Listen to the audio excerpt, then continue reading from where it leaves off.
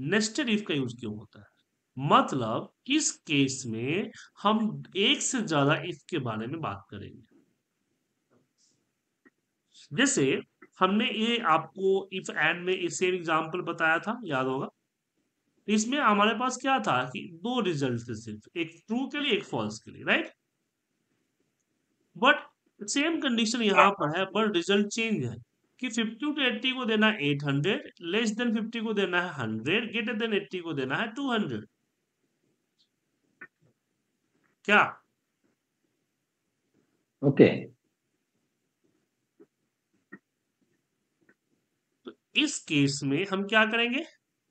हम लिखेंगे यहाँ पे if if a2 is greater than equal to